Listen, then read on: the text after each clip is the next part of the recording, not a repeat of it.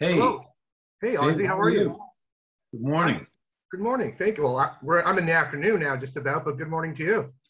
Good morning. Let me see here. Let me change something here. Uh, I got to start my video. I've got like a some old information on here. So there we go. Awesome. Cool. How are you? there we go. Great. Great to meet you. Great to see you. Thank Good you. you. Thank you. where, For, are- what's that? where you, where you located, Dave? I'm located in Toronto, Canada. Okay, cool. And you are in California, I'm taking it? Yeah. Well, right at this moment, um, uh, I'm in uh, San Diego County, northern San Diego, and uh, been here for a while. Moved from the Bay Area quite some years ago. Kind of did that, finished it, had a great time. Still talk to my friends. Awesome. Yeah, I've been to San Diego a bunch of times. Love it down there. Great city. Very consistent weather, I've noticed there. It used to be, I guess, compared to Toronto or the East Coast or anything. Oh, yeah, well. Yeah. Toronto Yeah. sometimes is hotter than it is on the equator. So, I mean, you know, it can get a little humid up here and it can change everything. Quite Ah, I hear you. That's funny. I see. I'm seeing some posters behind you and stuff. I just taken a whole bunch of stuff down off the wall, including my uh, a dead poster that was given to me by God. Who was that? Um, Rock Scully had a Ah, yeah. he wanted me to have that something, meant something to him, and I'm looking at I'm looking at this. If this if this room sounds empty, it's my Wow. studio it's it's my studio that used to be baffled and everything, and we're getting ready to move out. We're uh, moving to Costa Rica.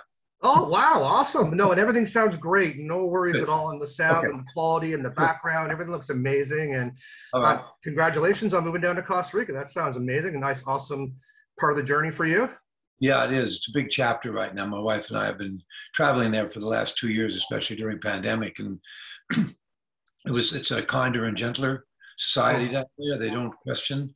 Um, I don't know what your political beliefs are, but the idea that you just kind of take care of each other is probably a, a better idea. And mm, people were not, you know, they, they'd mask up and they'd wash up. Every single place had a wash basin, and you, you know, wash your hands and dry up and put on a mask and go in and be kind to one another. And we found that where, especially where we were in Guanacaste, they were uh, being very, um, very low rate of the of the, the infection, and we were lucky, you know, whatever lucky or whatever, however it goes. Sure. We never got it. We went ahead with our our uh, immunization and everything, but you know, so big change down there, and also the weather. The Pura Vida they have, it's like was a For sure. One of my favorite countries in the world is Jamaica, and so I mean, there's a lot of ties with Canada to Jamaica.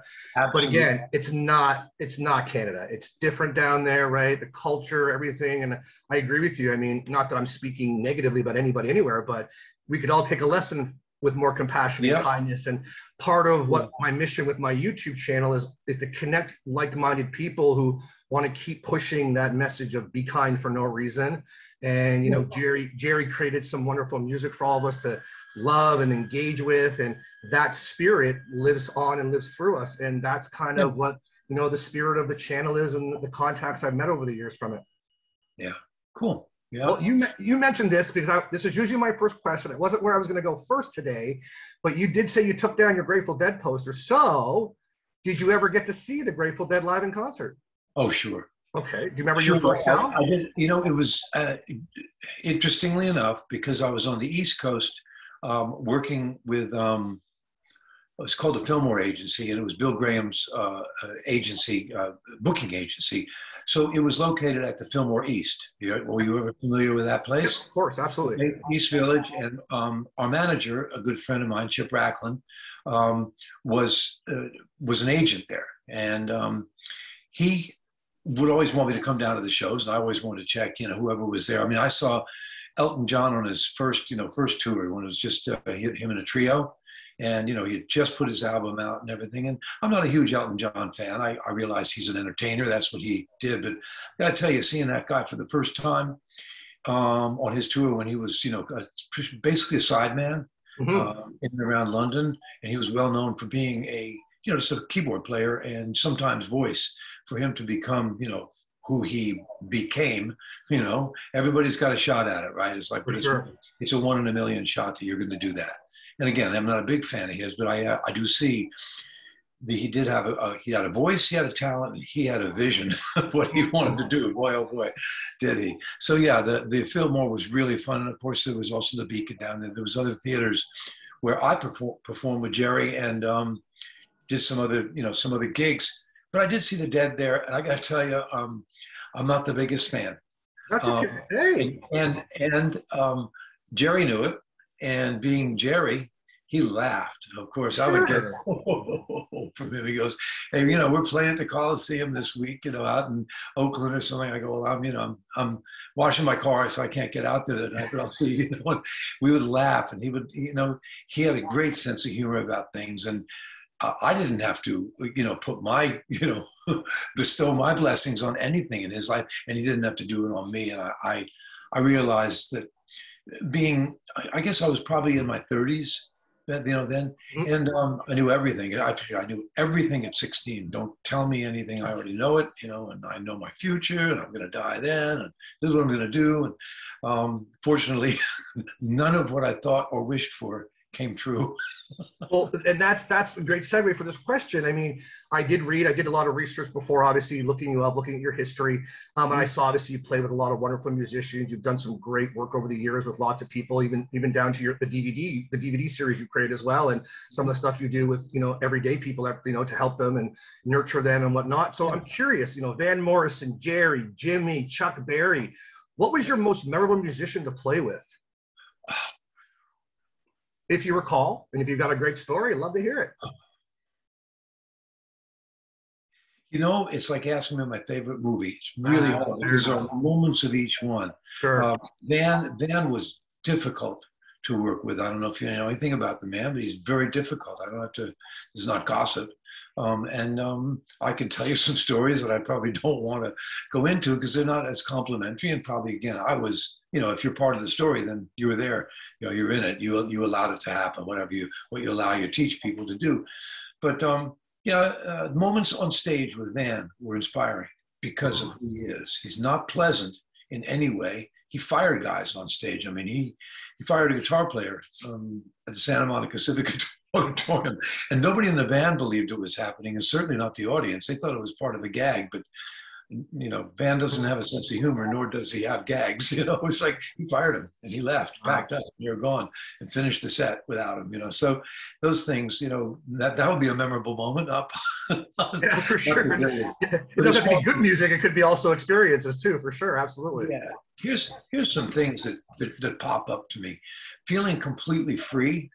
Um, uh, i have to say, I'm playing with a friend of mine, Jimmy Dillon uh, he and I had a, called, a, band called The Edge. And Jimmy then went on to be a blues guy, and uh, we formed Blue Star Music Camp together. He actually formed it and then asked me to come along and work with kids on it. And we were able to bring in, you know, um, uh, Carlos Santana and um, mm. Huey Lewis and um, gosh, I'm trying to think of the people that, that, that Bob Weir came by a lot of people came in. Tommy Castro, just a good hard blues guy, had his daughter in the camp, and he came in. And a lot of the guys just gave you basically rock and roll 101. They mm. they gave you 45 minutes to the kids, and you know they there's an inspiring time there to see kids who only have you know. Uh, you know only have their their superstars in front of their minds you know how did they get here i want to become you know fill in the blank but there's so much more to it. I mean, not sure. everybody becomes a Madonna or whatever, you know, whoever your idea of a superstar is, or certainly a Michael Jackson, anybody.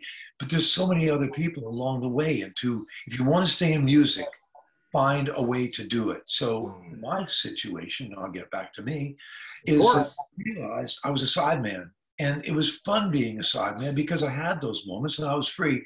When you come home from touring or from the session you were called to, you are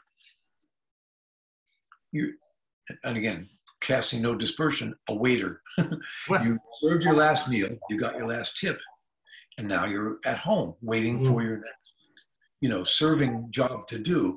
Nothing wrong with it it's just that that's what you're doing. It's and the artist goes on creating and if they call you for the session that's great but if you're not producing writing or you know being personally involved in, in, in the day-to-day activities of this is when we're touring because it's it's uh, convenient for me and not for 12 other people. Mm. You know what I mean? It's like yeah, everything. sure. There's ego involved, but there's also reality. Here's, you know, this, this is why we're doing this. This is the person that we're following. So the agency and the management and, you know, the roadies. plus oh, I get, I, I, get it. I help, I help a lot of local bands. And the one thing I won't do is I will not be their manager to book them for gigs because I don't need to deal with musician schedules and things like that. So I let the musicians deal with all that and I take care of the marketing and the live streaming and everything else and the support and being a nice guy and whatnot. But that one part of it, I hear what you're saying and it's not, yeah, I let them deal with that part of it because they know their days and, but they're willing to deal with more than I do. And I don't want to fight through that uh, noise. you, just, said the word business. And uh, music don't mix, especially for telling a young musician or something, telling, you know, Ozzie at 16 that you, you know, you, you better get some business. I don't know why I hire people for that because I've been, you know, mansions and people doing, you know, doing my bit. No, it doesn't happen that way all the time. Of course. and uh, thank God I didn't get my wish because I wouldn't be here speaking to you. I'd be pushing up daisies because I would have done to myself what so many of my friends, you know, unfortunately did. And here we are looking at um, what people learn about music early on. And some of these, you know, old timers, the guys that are on the road or whatever, they can tell you, you know, there's more to it. You got to watch your own business. You've got to look at what's going on. If and and I realized at a certain point that it was nice to be a sideman, and it was I, I wasn't responsible. I wasn't you know, after the gig, but I also wasn't in control of anything. Yeah. So someone said to me along the way, you know, if you were, you know, producing or writing the songs, you know, and here I am at 35, 36 going, how do I do this? So of course I would try to pick up every band I could. And actually until I met up with, um, well, formed a, uh, an alliance with Craig Chaquico, um, he and I put together a, a, a demo mm-hmm.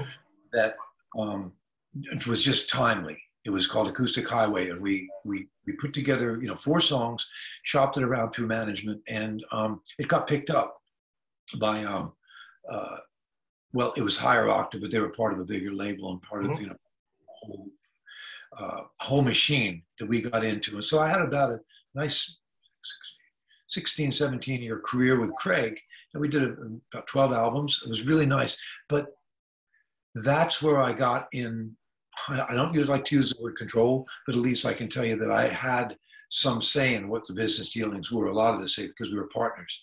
So I was able to create the music, record the music, you know, produce everything that was going to go on there. And of course, if you're successful with, I'd say by the time you've done two albums and the second album got nominated for a Grammy and it was like it got to the number one Billboard chart, that's considered successful. Yeah. Now we are able to basically tell the label what we want to do.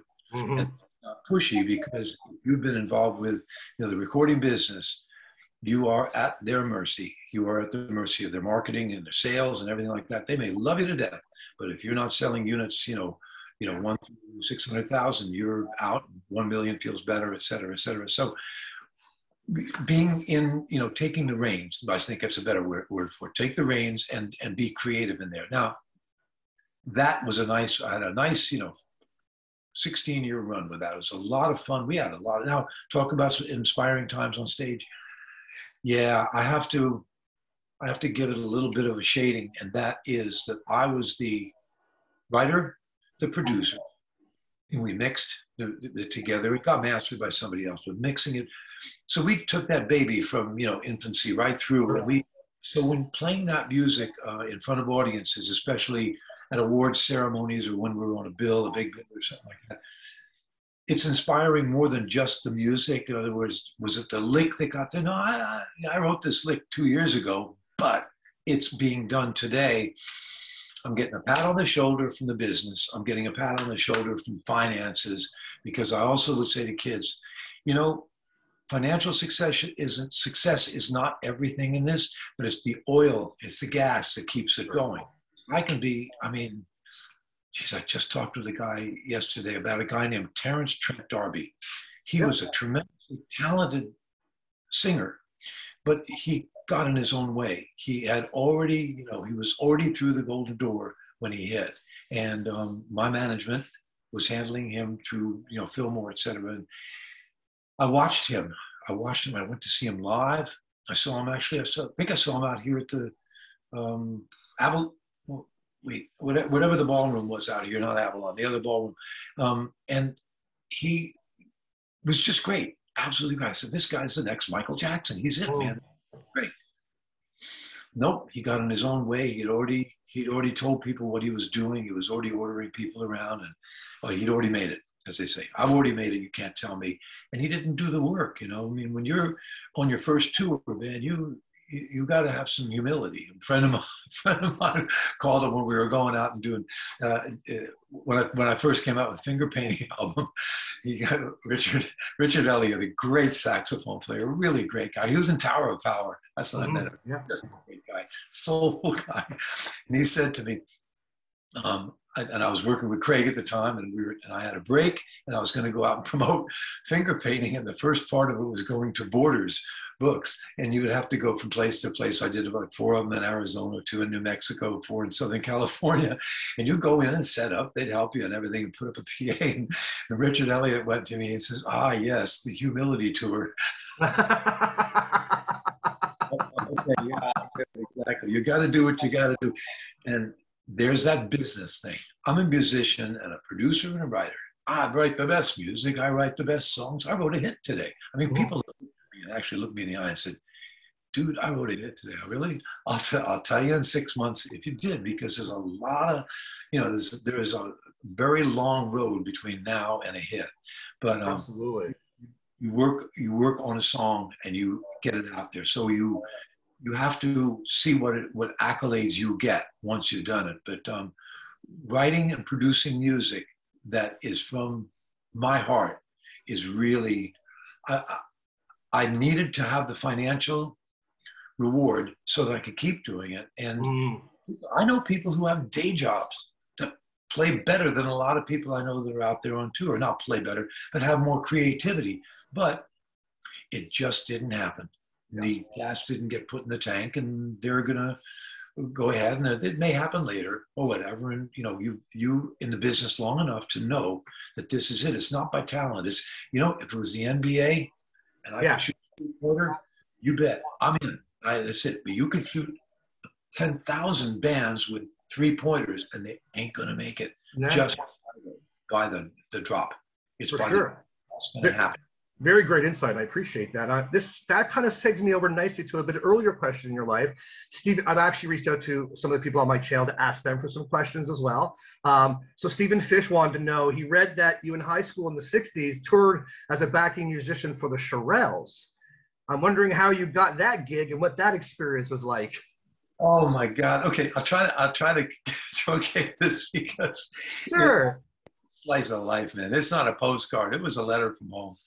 I was um, 16. I was with a band, a little band of mine from uh, from high school um, called the, the, Wizards in Oz, and yep. I was booked by a, a, an agency in Newark, New Jersey, and little Ida Mallet. She always had a gig for me. She put later on she put me out with Chuck Berry, which was a lot of fun. I was, uh, uh, uh, meeting your meeting your childhood idols are very eye opening.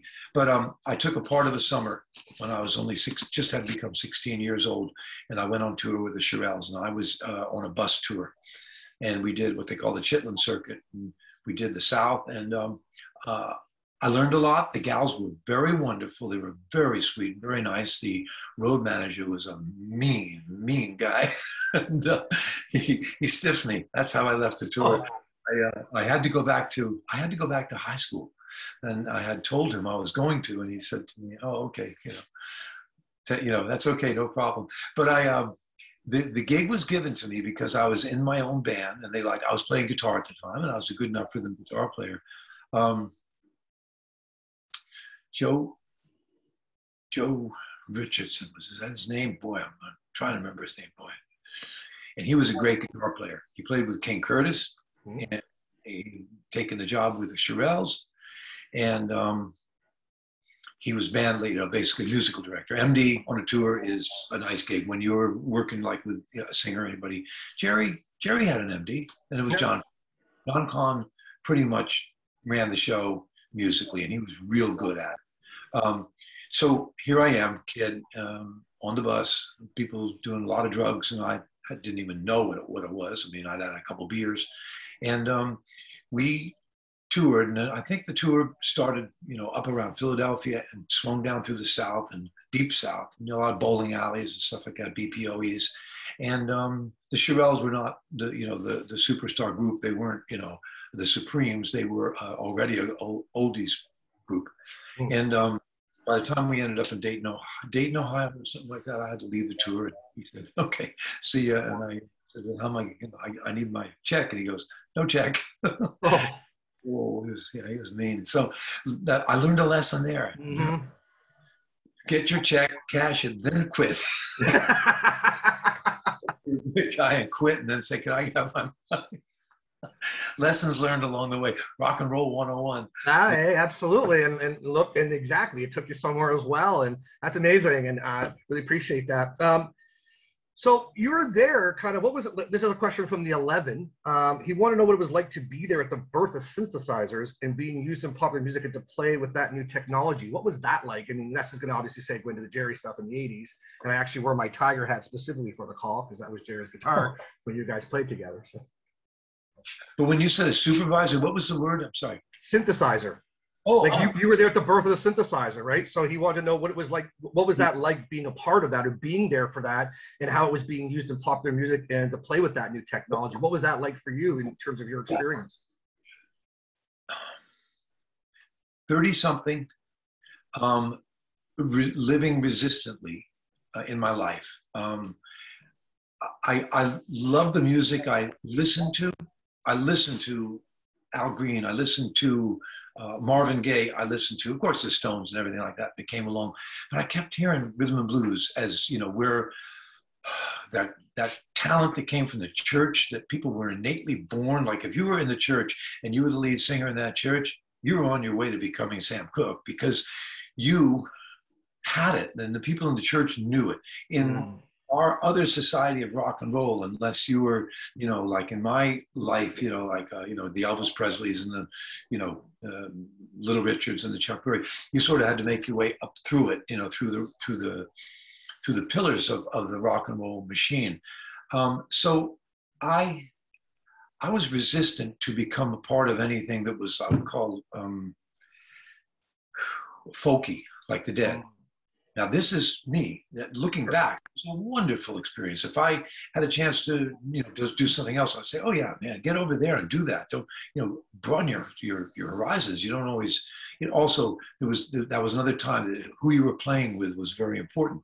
Jerry was very important to the world. wasn't important in my world, but that worked. It worked for him. He would laugh when I would say anything about what we we're doing, but I didn't laugh at him. I never laughed at Jerry, and I certainly couldn't laugh at, at anything that was already a machine. I just said, I don't choose this for myself. But here's Jerry, big rhythm and blues fan, you know, big blues and rhythm and blues fan. And Kahn, I don't know if you know anything about what John, he had a record collection that would fill both of our rooms and mm. go out, spill out the door.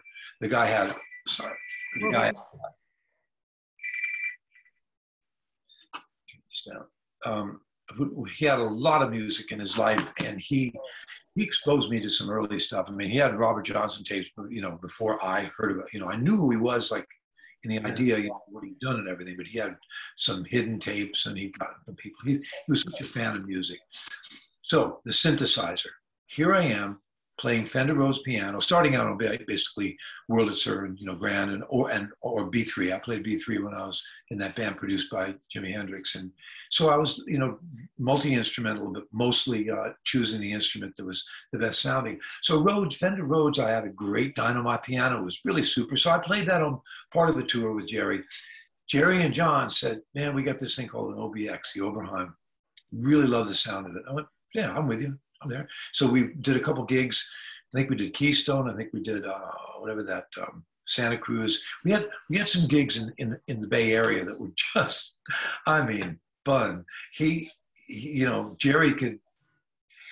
The word could get out with no advertising that Jerry was playing at Keystone Berkeley on um, Thursday night, you know, at nine o'clock, and he, he he could put that message out at five o'clock in the afternoon, and there'd be a line down the block just waiting to see that, you know, because you know, there was something. The word of mouth was better than any advertising back then. It's just like everybody got it.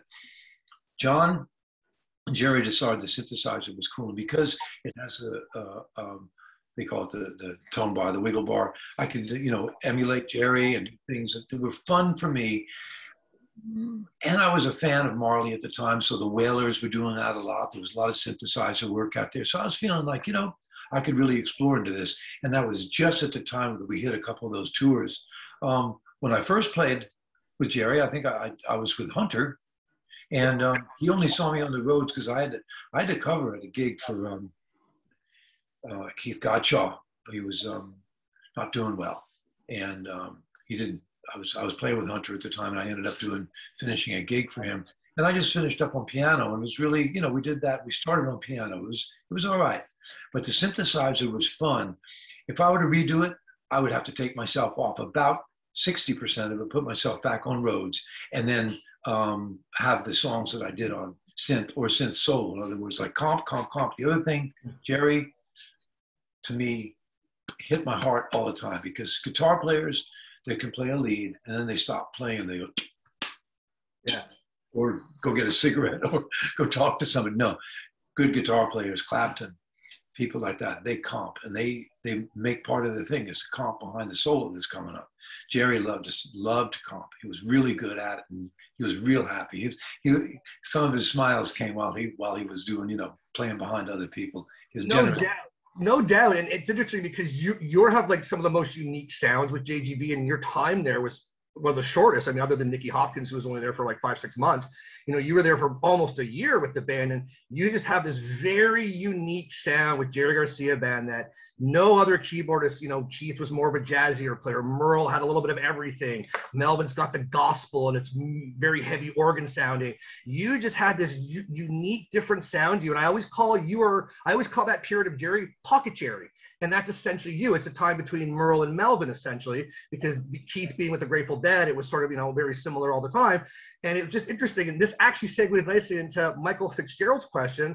And I'm wondering if you were aware of this. That's what he wants. To, Jerry always seemed, and, and more so than what I've listened to and known, comparable to every other you know keyboardist and Jerry Garcia band specifically, he always seemed to give you great space for solos and lead improvisation relative to other players were you aware of that? Were you conscious of that? And how did that interplay kind of work together in that regard? Because it's like Jerry would play something like a solo, and you would almost try to recreate that solo. And what I actually found was you actually, in my opinion, push Jerry more than other keyboardists that I've that I've heard him play with. And that's one of the more fascinating things for me. So I'm curious if you have any insight on that as well.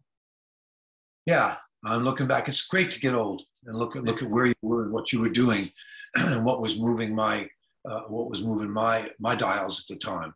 And um, I'm going to go back to a place that when I came to, to California, Van Morrison moved me there. I was on the East Coast, and I had been playing with other people and playing New York City and lived up in Woodstock. People played together. There were a lot of good bands up there, a lot of really good put together bands, and they jammed. And we did some jamming and everything like that. But it was when I got to to Marin County and I had a big plan, by the way. I'm going to LA right away. I'm just, you know, I'll just be here for a few minutes, and I'm I'm headed to LA where it's really happening, you know, and I'll I'll form my own blah blah blah. So went on. I went to LA. They kicked my butt right out of there. You know, uh, people were double double booking sessions, you know, and saying, "Oh no, you're not here today," you know, bomb. And here I am in little old Marin County, Monday, Tuesday, Wednesday, Thursday. If you didn't have a gig or something, you'd just go to the Lion's Share or to Sleeping Lady or to um, even the, the you know, I would have to say more, yeah, more than San Francisco. It, it was the Keystone Berkeley. Freddie Herrera had a way of, of, doing music in his place. If you walked in and Jerry wanted to jam, everything stopped. You just yeah. did it. Same at at the at the uh, place called the Lion's Share in San Anselmo. Yep. You could walk anytime you could you, it would be a tuesday night and carlos santana was you know soloing on stage with bill Champlin because they were jamming you know or it would be you know whatever put together band was at the moment some of the some of the sons some of the guys from uh, you know uh, uh, the, the, the dead whoever was around you know Kahn would come there and jam and that's where um, Old and In the Way played there a lot. It was a regular gig for them at the, at, the, at uh, the Lion's Share. So that idea of jamming was you jam until you're done. you know, your solo is when you begin it and end it. It's no, you know, no, no 16 bars, no, no 32 bars. No, it will be 128 or 256 if you care to. you know, how long do you want to play?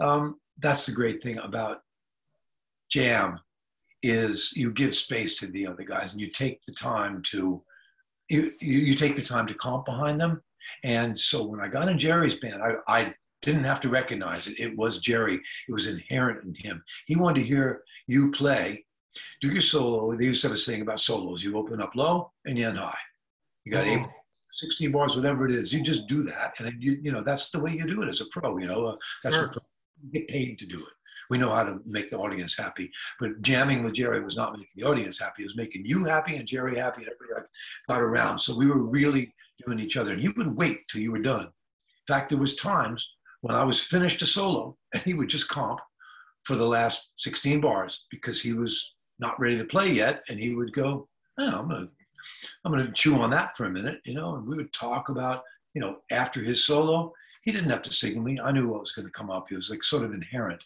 So yeah, the space was always there. Um, he just loved to experiment. The guy, he, he did live an experimental life. God gifted him with a platform in which he could experiment, you know, on whether it was banjo or pedal steel or, you know, whatever it was the dead it was and is. And then he had JGB to do even further work. Wow, it's pretty pretty awesome, and thank you for sharing that. I, um, uh, yeah, it's just it's quite an amazing time, and just again all the different stuff you did there. Um, another question that someone had: um, What is one experience? This is from Richard Gerson. What is one characteristic you experienced in Jerry that would surprise his fans and all of us that you think of? Um, I, I think I told this to to somebody I, I mentioned this. Well, uh, it's not Jerry's a big sci-fi fan, and um, when I went to have breakfast with him one day, we were you know in New York and we had a day off or something like that. And he said, "You want to just you know chew the fat?" And you know, so we said we had breakfast at the hotel. Um, and he found out. I mean, I had mentioned things before, but when he found out that um, that I had actually, when I was reading science fiction, and that I had met, I just mentioned in passing that when I was going out with this gal she invited me over for lunch and I met her dad, and her name was Tandy Sturgeon, his, his Theodore Sturgeon, Ted. Here's my dad, Ted. And he mm-hmm. goes, there he goes, what? You met Theodore Sturgeon? Now, he's probably, I think, I think Jerry mentioned that he had in passing met Heinlein or somebody like that, but a lot of big fans of those writers, you know, those people, Asimov. And at the same time, you know, I uh, bumped into him in Woodstock. So we talked about science fiction. We didn't need to talk. We'd already talked till we were, you know, till we were done, especially backroom banter with Jerry in the, in the dressing room was just free for all music, you know, whatever you got on your mind. What, what, you know, what did you like? What was the flip side of that? What was the flip side of that 45? Oh yeah, I remember that. I learned it, man. You know, and, um, but Jerry was a big science fiction fan and he had a suitcase full of books. He went up, and he pulled out two of them. He says, "You got to hear, you got to read these." So for the rest of the tour, I read this Asimov uh, short stories. It was really that I didn't have before. But he was a big fan of that, and, and his jaw-dropping experience was not that I worked with Jimi Hendrix; it was that I had met Theodore Sturgeon. Oh, that's great. That's great. I really amazing. Just hearing some of these stories, just amazing. Thank you so much for sharing. One other question Icemond wanted to know um, what did the band or Jerry think of audience clapping? Did it annoy, affect the performance at all? He's been wanting to know this for a long time, and I haven't really spoken to anybody else that was there. So, do you have any feedback on that at all? Well, if the audience doesn't clap and the audience doesn't pay and they don't have a gig, right? Correct. So there, there would be somebody who goes, I don't need them. I don't, you know, I'm, I'm my own, you know, driving force and everything. But I think all of us knew that we needed the audience to be there so we could continue doing what we're doing. But I think, and the other thing is Jerry and John had a pretty funny, um, pretty funny take on on audiences. They did not diss them.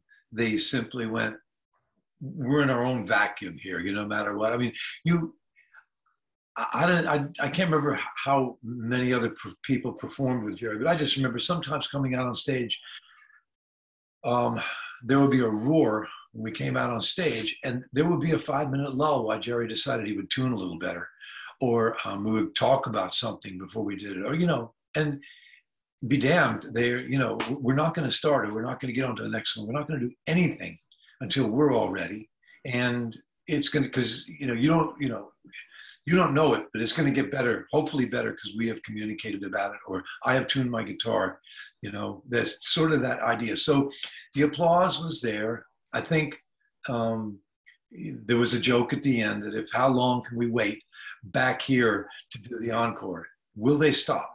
Let's see. And Jerry and John, you know, we a couple places that were uh, like a given, like you're in, you know, the Capitol or one of those places, you know, they're not going to, you can stay there for 45 minutes. They're not going to they're going to do that. But uh, yeah, they would laugh and go, should we go out? Nah, not yet. You know, they would joke about it, but they knew they were going to go and give the audience that. We already usually had a song or two in our pocket that we knew we wanted to do as, mm. as because more like encore songs are no brainers. You yeah. don't want here's a song I just wrote, you know, thinking about, you know, the depths of, you know, all philosophy, my greatest Gandhi thought, you know, no, get it's going to be, you know, wild thing. Okay. Everybody, three chords, you know, yeah. four chords, three chords, let's do it, you know, and have fun. I love it.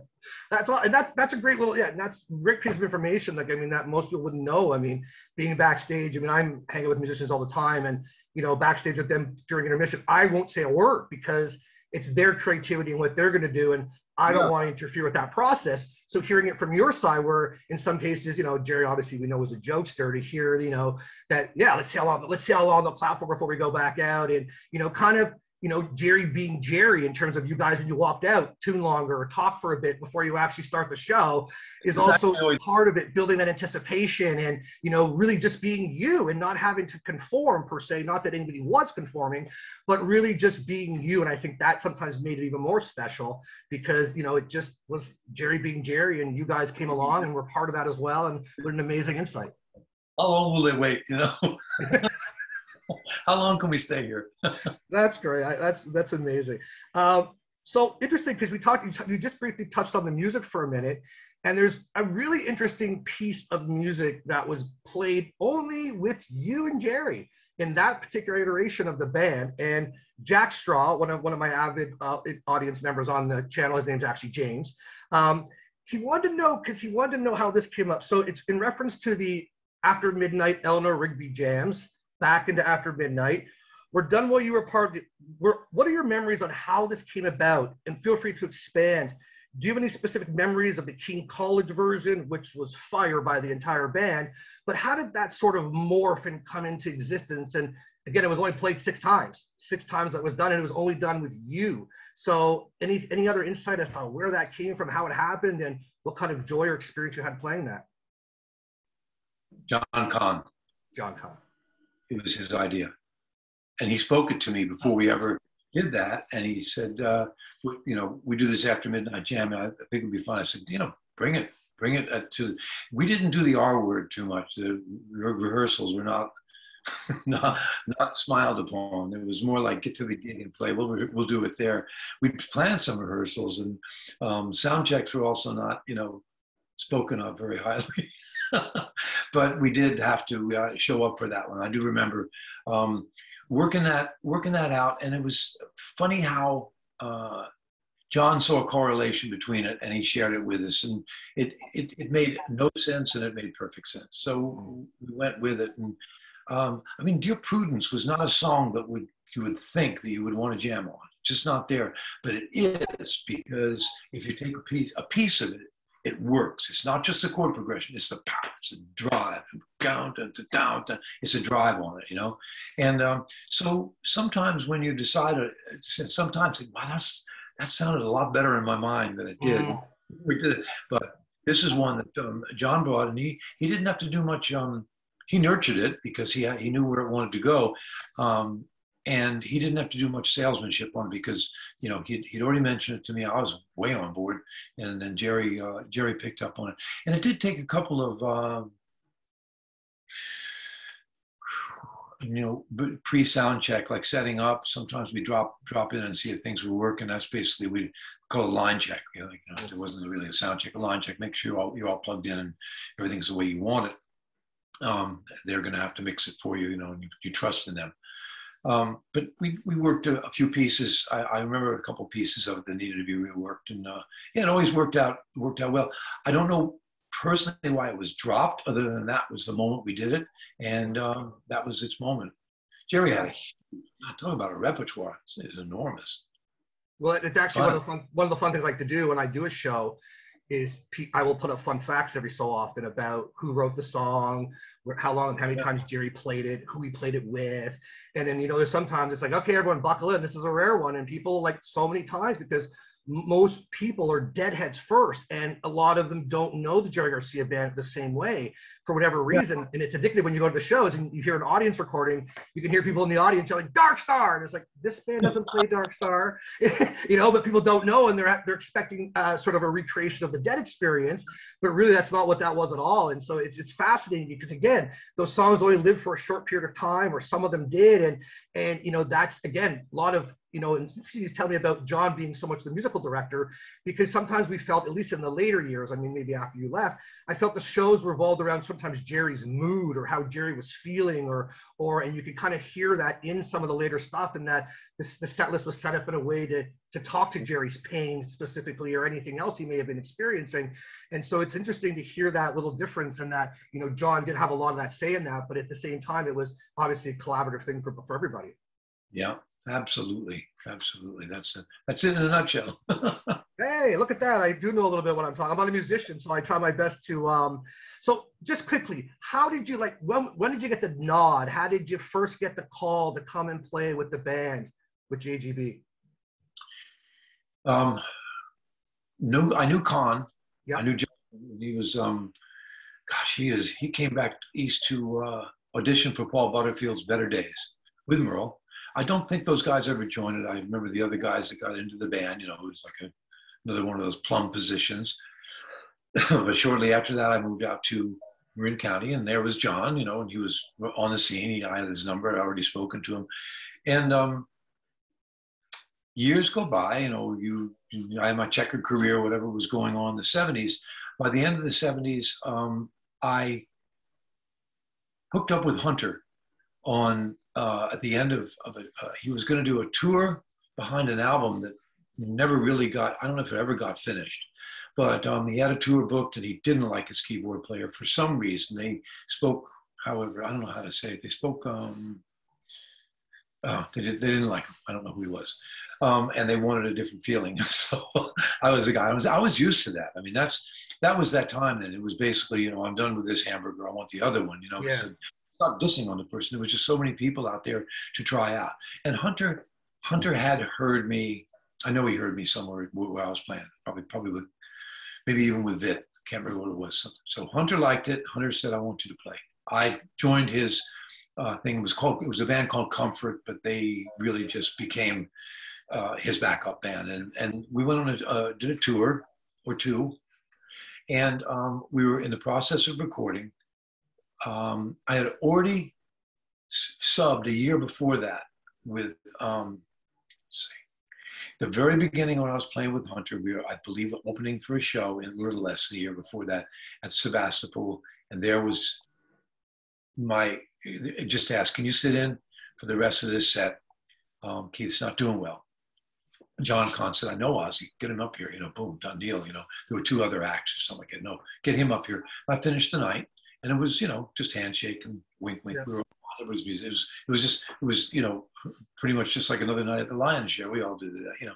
And Jerry made sure the the songs were known by me for the rest of the, the evening. So and then time passed after that. I'll tell you, it was a few months. Uh, I don't know if he put the band to rest for a minute because I didn't see them around for quite some time. And I got the call from the rocker, Rock Scully.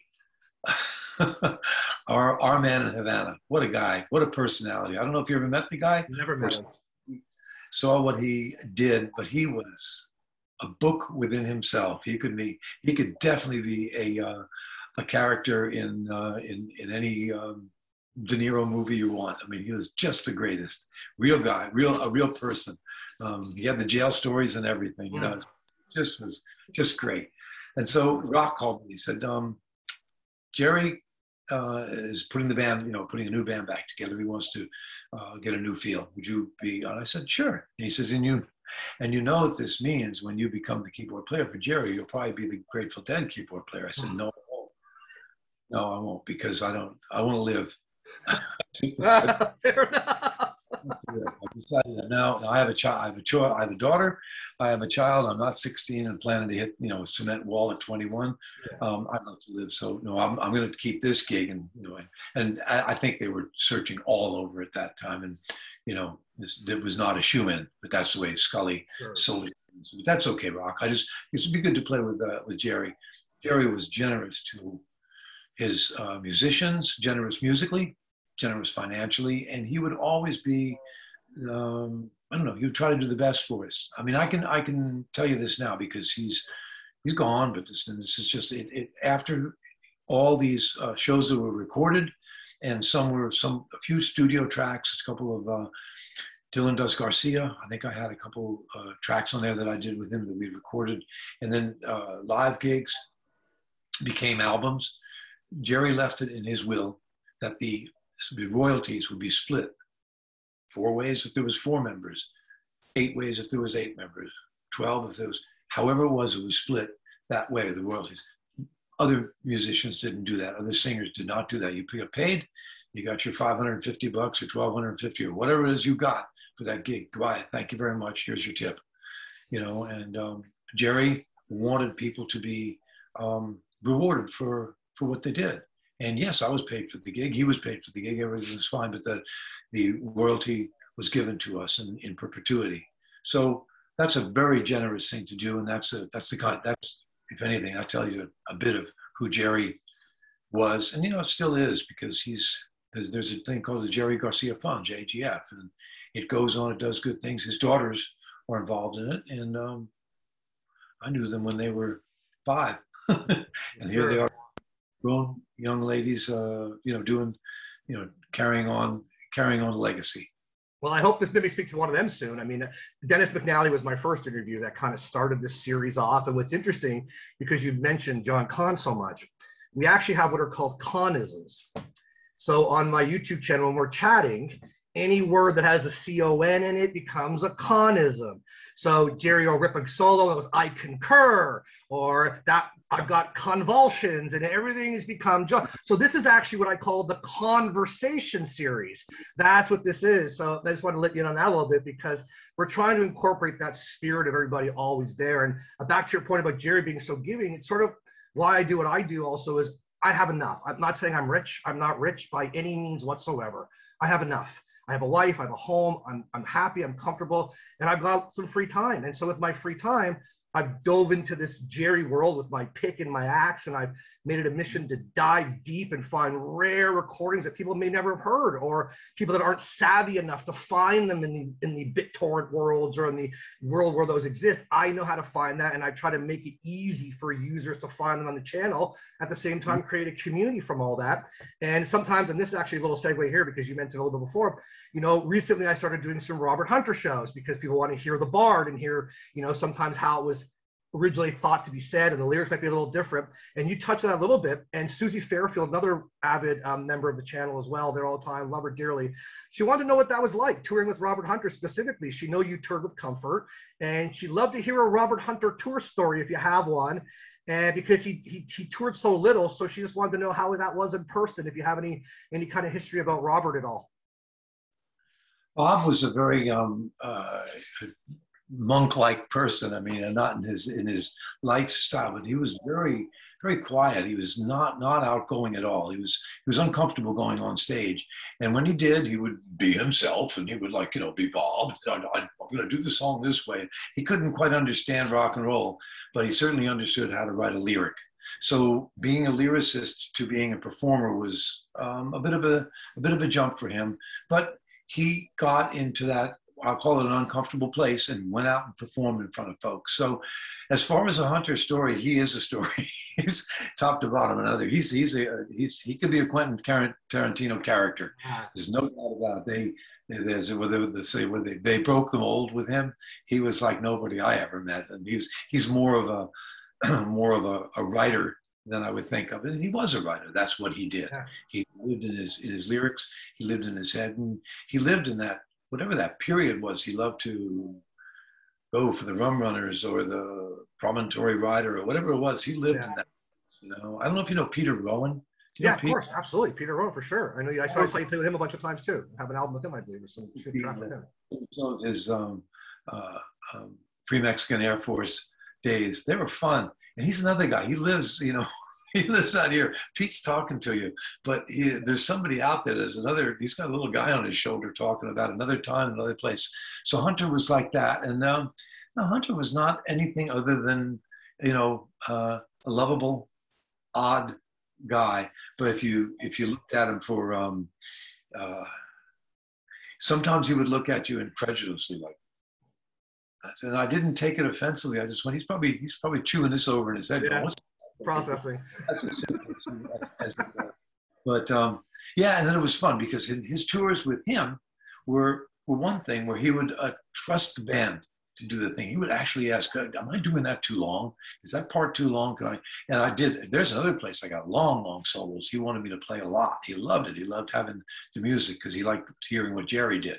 And um, so uh, when once we were out with Jerry and, and Hunter was on the tour, um, he just took his place very well. And, and nice, it's nice because being a lyricist like that, you, you got to have a lot of uh, um, people in the audience go, "Oh my God, this is the guy that wrote the songs, and here he is." You know, so Yeah.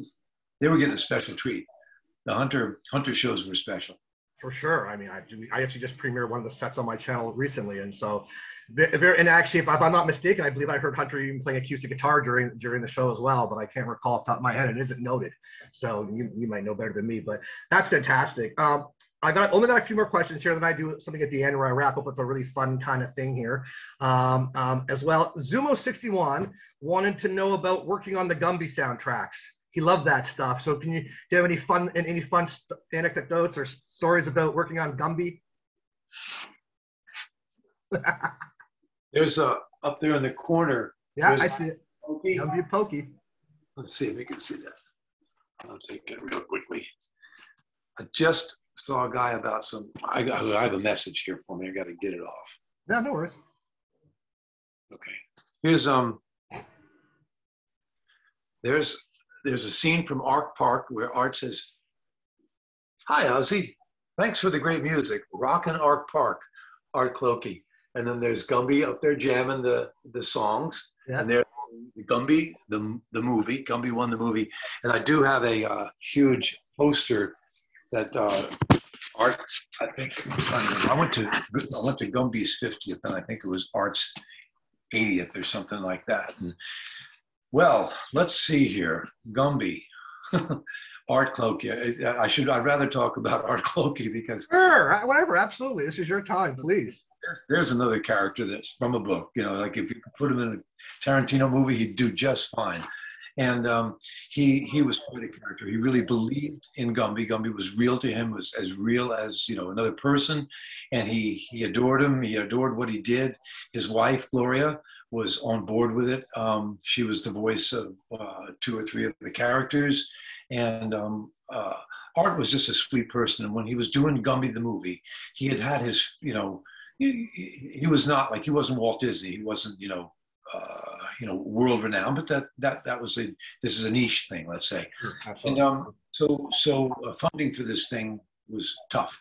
He was he was funding a movie, not a not a little TV show of you know whatever it was, twenty minutes or something, twenty five minutes, and um, he fell on hard times, and he had his usual person doing the music, and it was a bit. uh, When I heard it, I, I it was like the music from the TV show. It was a little odd. It was more almost like you know whimpery sounding out there. Nothing, nothing. I'm not saying the guy did bad music. I'm just No. saying Just how it sounded to you. Sure. droned on and you know it didn't go anywhere. His wife Gloria said, "I think we've got to come up with the times. It's 1990. It's no longer 1950. So let's um, let's write some. Let's get a, a, songwriter in there to do something to do." And and Gumby was making a video. It was the years of MTV. So um, they heard the music I was doing actually with Joe Satriani.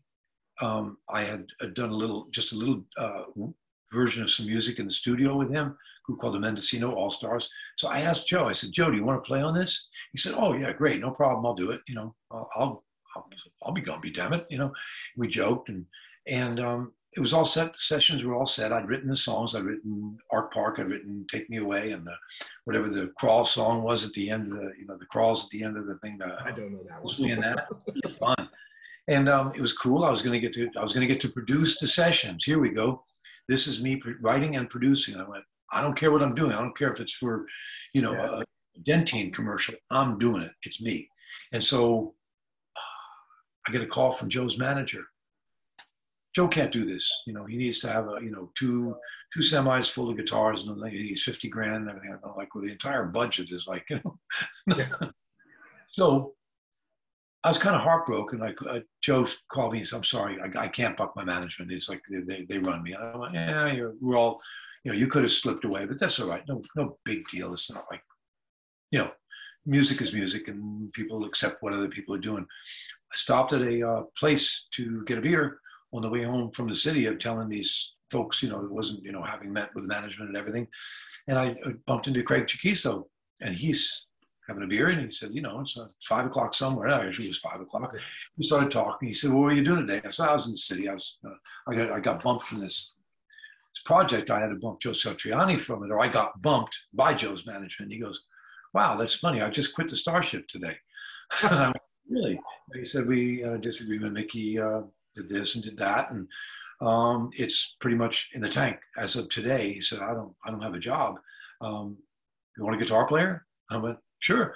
So I went to Art, and I said to Art, "Art, I don't. I lost Joe, and he loved the idea of Joe Satriani. When I told him Craig, he loved the Starship. He said, "This is great. I love the guitar player." He says, "Great. That's just fine for me. No problem. Just shift one to the other. So I'd already written the tunes, did the sessions with that, and it was a pull, like any other project. These things usually don't go you know ABC and it's done. You know, there's usually a bunch of other slow, yeah, you know, B one, B two, B three, yeah.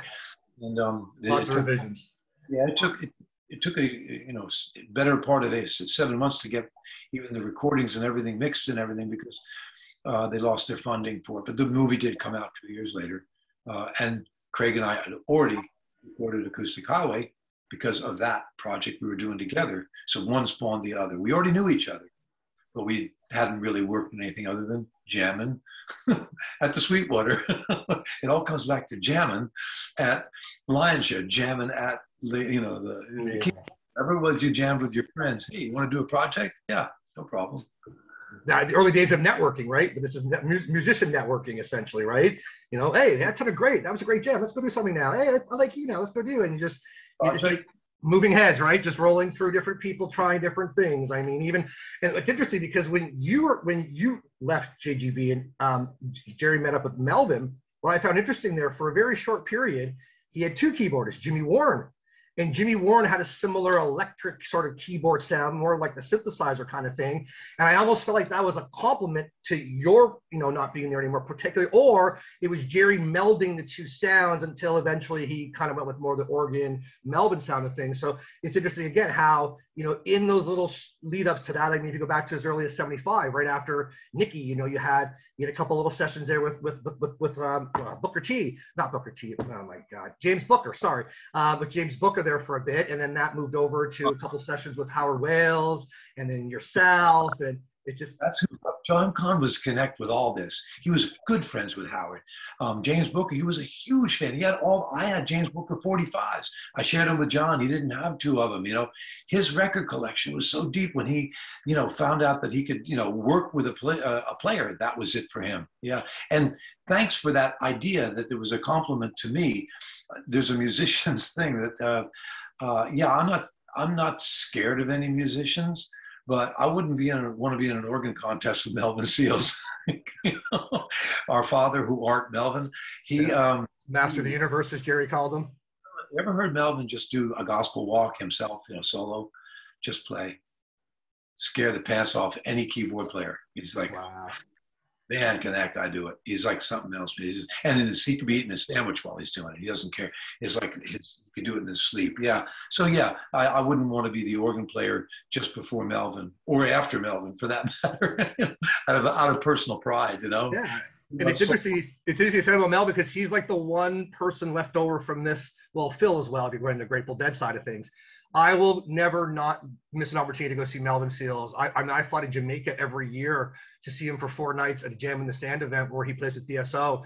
And it's that smile, his everything about him, his energy. I got to hang out with him again at Skull and Roses recently just there's something special about him. So you talking about him like this, it just really means something to me because I'm gonna go seek out some other stuff of his now that you mentioned it. And he just really is special in terms of his play and, and how he complimented Jerry later on and everything about that. And you know, it's amazing and it's interesting. I don't know if you know the story, but James Booker, when James Booker first came to play with Jerry, they in, in the rehearsals, Jerry didn't have the heart to tell him that James was playing with them it was that because uh, James thought he was the lead, as opposed to you're not you're playing with no. It's hey, this band's playing with you, James, and it's very interesting how those two shows have a little bit of a different yeah. musical selection because of that understanding and non-understanding. John didn't bother explaining it to me. He said, "Just show up." You know, we'll be you. that was exactly. Well, hey, he's in town. Let's call him up, and no one has any idea. It's it's quite interesting, and that's interesting to hear that as well. And you mentioned you mentioned Melvin and how what a great musician he you know is and he goes on he still carries on he's one the, the one link with everything because he was there for a long time the other one was uh, was merle saunders yes. and merle was one i mean god bless that guy what a what a great person uh, his whole family i mean oh. merle little Merle, and uh, I call him Little Merle because he was a kid when I met him, and um, Tony, you know, Tony, oh. all all that family, all the music that was there, the way um, the way Merle shared with people. He's I can he's one of those guys that I can he's right next to you when you, you sure. think of right next to you there that leather hat, the beard. There, there's well, that was actually one of my favorite interviews I did or conversations I had was with Tony Saunders. Oh. I spoke to Tony a few months ago. He reached out and he just sat here and just told all the stories of, you know, being at home and Dionne Warwick walking in and, and, you know, Sly and his dog's name was Stoner and all these fun, great stories. And it was just like, I actually felt like I was sitting in the house with them, you know, and obviously I, I, don't, I didn't know Merle, never got to meet Merle. I mean, I saw Merle play in Toronto many, many years ago, but I could feel and hear Merle in Tony and even Tony now when he's on Facebook and every few days, he always talks about how proud of his dad he is and his dad taught him music and he lives his dad's memory and everything like that. And it's it's it's amazing the, the little little community that's here that came from these different connections. And uh, that's part of the reason why I want to reach out to you because you are a surviving member of, of that history that I you know you thankfully and graciously were able to talk with me and I found that amazing. Thank you. That that you mentioned about Merle's uh, house the, yeah. the house in San Francisco and who came through it. It reminds me very much of the houses in New Orleans, like uh, Trombone Shorty, his house, the stories he, he, the stories he told, who would be marching. I mean, Louis Armstrong actually come to his house and talk to his dad and to his uncles there, and he had a musical family. Everybody was in music and and recording. He just it was what he did, and he was Shorty. He was the guy that smallest kid, he was like, you know, five, six years old playing trombone. Like, well, you got to hear this little kid, you know? So it was a musical household. And that's what Merle's was. If you went there, oh, it wasn't the stars or anything, but you just didn't know who was going to show up musically to talk to, work with, play with, try a song out with Merle. He's a great guy. And what was interesting too is when Merle didn't decide and told his dad he didn't want to play piano anymore, that he wanted to get into bass and how his dad reacted. And actually, it was um, uh, I can't think of the keyboard player, 80s, early 80s. Um, uh, Vladimir was not Vladimir. Uh, anyways, he was the one who basically told Merle, let him go, let him play the piano. And uh, so, uh, sorry, let him play the bass. And it was just an interesting story too, because you don't always, obviously, you want your son to follow in your footsteps. And and you know, all of a sudden, he didn't want to play piano anymore. So it's just interesting to hear those different things. Yeah, the piano, the keyboard. I always say to people, it's a great instrument. Um, a, guitar player friend of mine said, you know, you're a good guitar player, but there's like a, you know, a dime a dozen guitar players who want to be out there. There's a, and there's, and they used to say that bass players just were guitar players that couldn't play very well. They could only handle four strings. You know, that's not true. And, you know, but it's just the they said it. If you couldn't play guitar, you play bass. But the keyboard players would always be um, uh, uh, desirable because you could arrange, you could do other things, and you had the, the instruments there on your keyboard. I went, okay, I can play. That'd be fun. And I was to get out of that.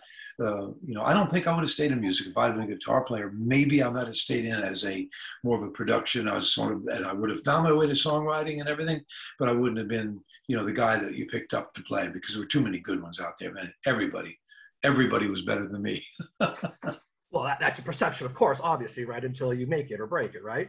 This is kind of a great segue to another uh, audience member asking question. Richard Lennon uh, as a musician, what would you recommend? And again, if you don't know, you don't know. What would you recommend to aspiring musicians who would like to play professionally at a level of the great musicians like yourself and Jerry Garcia to learn?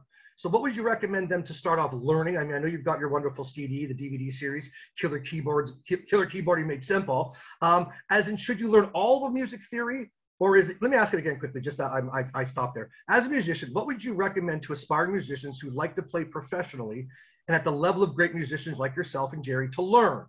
As in, should they learn all of music theory or is it key to learn every kind of scale? What's the most key thing to focus on to become a master guitarist, keyboardist, in your opinion? Uh, saxophone players learn scales. That's important. Um, most other instrumentalists, you know, you know, or should say, you know, the woodwinds, those guys have to learn the scales. Trumpet players, some with the brass. But um, it's good to know. I, don't, I can't read music. Okay, I can write music. That's a scary thought. I can actually pen it out. I can write horn charts. I can write, you know, uh, lead sheets or whatever. But I, I, I have some dyslexia or some uh, ADHD that I cannot read. It does not translate those notes on there. I still have to go. Every good boy does, you know. And I used to write F on top of the F sharps. I, used to, I, I when I was taking viola, I had to write the number, letters on top because I couldn't read it either. I hear you. blank out. I can I can read, you know, I can read a story. I can read a story, but I blank out on that. So um, that, that's a that's a blessing and it's a you know, it's a, it's a curse and a blessing at the same time, double that. So, because I, I, I had to be creative, I had to, you know, create my own music, and as far as theory goes, yes, every bit of theory you can get, but you don't have to, you know, you know, half diminished everything. It's not that important because you, after you've created it, you can name it. I don't have to name it before I create it, and I don't know if that makes any sense to sure, yeah, aspiring musician. Be creative first. Get into why you did it afterwards and why it sounds like that because it's it'll give you another roadmap of where you want to go, especially if you want to keep creating your sound or whatever that is. But um, yeah, learn um, learning a Suzuki piano method. I don't know. I just don't think it, it gives you the backbone for why it sounds like that. I talk to keyboard players and guitar players. They don't know why this song sounds like that or that chord sounds like that or the similarity of things. You go look look at the similarities, not the differences. They go, oh, that's just a completely different. No, that's that same song. I can take it. I can put that right over that song and you know change one note and we've got it. And, you know. Um, it's it's it's only teaches me as I go. It doesn't create the music. It gives me the reason why it happened, and it'll maybe give me some future thoughts. But yeah, theory is important. It's nice to learn the music, and if you can't play, you can't play. Usually, usually somewhere along the line, you'll find out that you're just I I I don't play basketball. Okay, the hoop told me. I hear you. I'm not a musician, so I totally get it. Absolutely in there. So the hoop told me I'm not going to be in the NBA. So early on, you'll find out if you're good at things, and, and then plug away at it. You know. Yeah, no doubt, absolutely. I mean, I, I mean, I, I host musicians. Like during the pandemic, I turned my garage into a live music studio because I am friends with a lot of working musicians. Right, they have other jobs.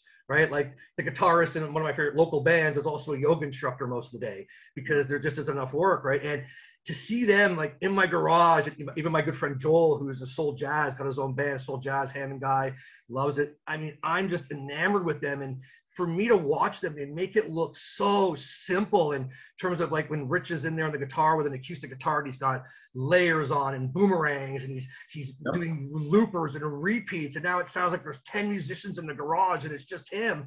And it's like, wow. And then what, what for me, my job wasn't to try to look at him, was how can I make that sound good to the outside world? How can I make sure my internet connection's fast enough? How can I chat with people to keep them engaged? Because he's doing what he needs to do and I'm doing my part. And it was a great collaborative issue that way, where eventually they, the musicians would bring me into the stream and, all right, we're here at the news house and we're here, here. And they would bring me in a little bit, make it fun. They would learn songs from me at times. And it became really, you know, made my heart thump a lot harder but at the same time just being in that process because a lot of times when i go to the concerts with the boys and i'm the guys and they're setting up shows i'm mute i don't talk during setup i don't talk during sound check i don't want to interfere on their process and whatever it is they're doing to get themselves in place now the lizards are a bit different because i mean i work with other bands where they don't care about certain things lizards oh. obviously care a lot about making money that's not their fault it's just they're playing music they're good at it, but they're there to make money.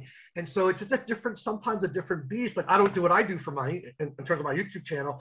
It's a mm-hmm. passion for me. And so sometimes seeing a musician bring the passion with that they need to make money together that's a really interesting thing to, to witness because that can be sometimes more challenging.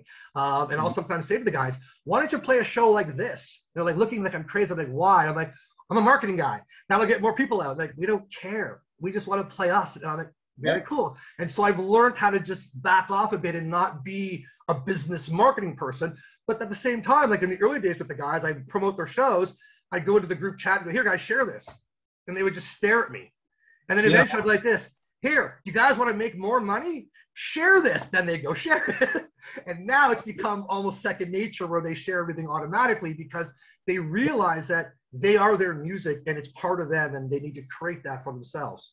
Yeah, that's that is great. The sharing, exactly the idea is no telling where it will go when you share it. If you hold it and you go, no, I'm going to do, I'm going to control this here. No, it may not get where it's supposed to be you know? Absolutely absolutely.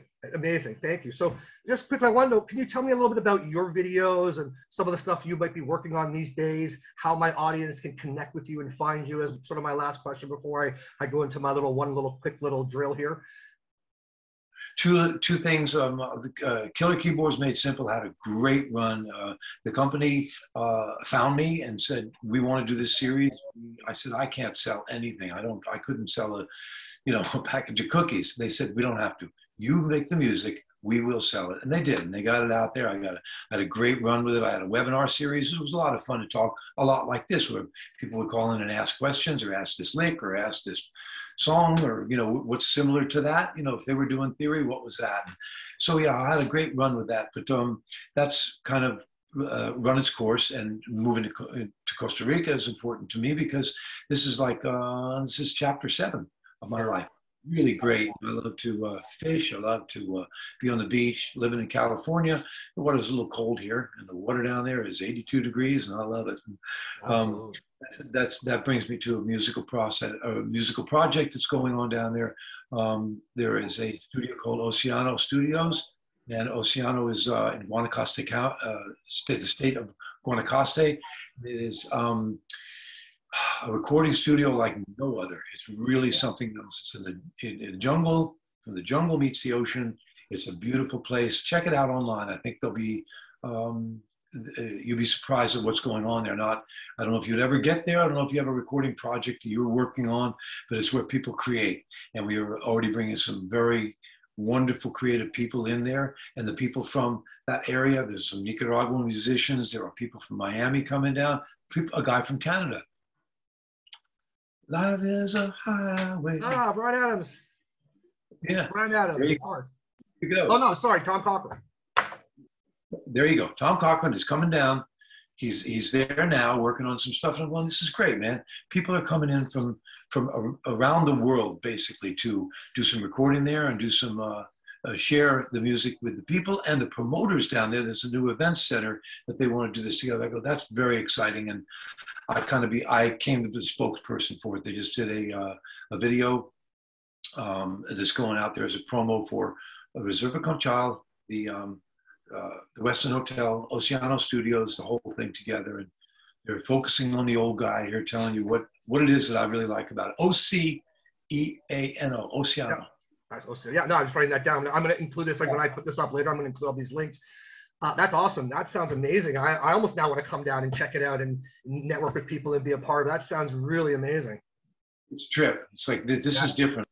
I had no idea when I was going there. I was going to, you know, I've been away from music. I did my webinar. I definitely don't want to tour anymore. No more buses with guys on them. And, and um, I just at the point now where I was going, you know, I'm enjoying my my life with my wife. We're having getting to travel without you know going to stages, you know, to do it.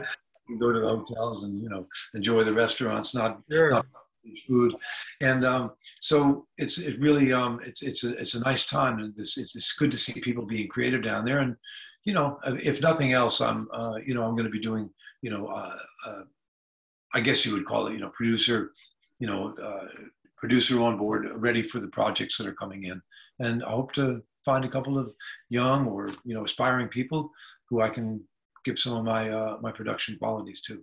That's awesome. Awesome. Awesome. Awesome. Awesome. Thank you. Um, all right. Last. Uh, so, how can people find you? Obviously, you've got your website. I'm going to include that link in in the when I put the video up on my YouTube channel. Any other ways to look and find you, or search you out online, or anywhere?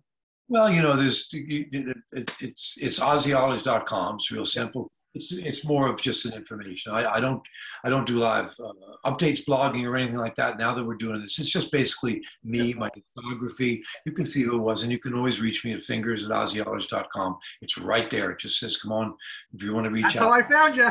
Thank you. That's exactly how you found me, and it's exactly how people reach out with a question, and I do answer them. I I really appreciate that people love music and uh, you know love the people I've learned from and all along the way and we shared with. So yeah, that's always there. And there's a Wikipedia page. I'm sure there's somebody put that out there and, you know, Google me. yeah, it's, it's, it's, amazing. I mean, there's there isn't a lot, but there's enough. And what, what I find really interesting about you specifically with Jerry Garcia Band is the, the very few pictures there are with you on stage. You have the one on your website, which I've used before in a couple of shows I've done, but so very few rare pictures of you on stage, just actual pictures. I found that to be very odd compared to the other guys in the band. Well, actually, Merle too. There's not a lot of Merle either, but that's much earlier, so it makes sense. And the photographers yeah. weren't really around as much that it were they are today, whereas in the later years as well. Um, that's really awesome, and I really appreciate your time today. I'm going to include all this, and I realize you have a birthday coming up too, June 3rd. You got a birthday coming up soon. Yeah, I'm going to be 76 years old, man. I feel like I'm years young. 76 years young. I think it is because, uh, as I said, I got a new chapter opening up, man. I'm, I'm grateful for that. Absolutely, absolutely. So that's great segue for my last little um, inside the actor studio. Remember, do you remember that show at all with James Lipton? He asked a bunch of questions. So my wife encouraged me. The first time I was going to do one of these conversations, I'm not an interviewer. I'm just a talker. I'm a good listener. My wife's like, here's a couple questions to get you going. I'm like, oh, okay. I have no idea what I'm doing. All these look good. And I had to go do research and research. And I'm like, oh my Lord. And I just grabbed information. Thank God I have a good memory.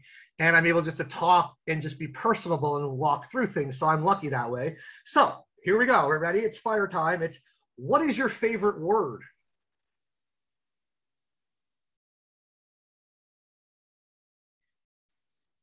Gratitude. Love it. Perfect. What is your least favorite word?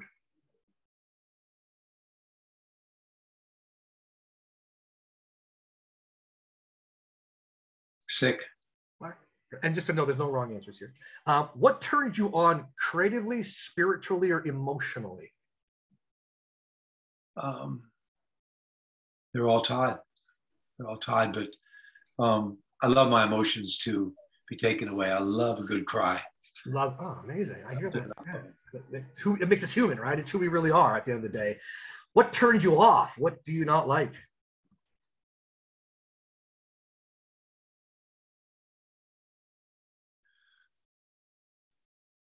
People who think they're actually in control.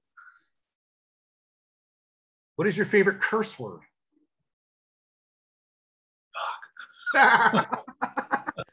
what sound or noise do you love?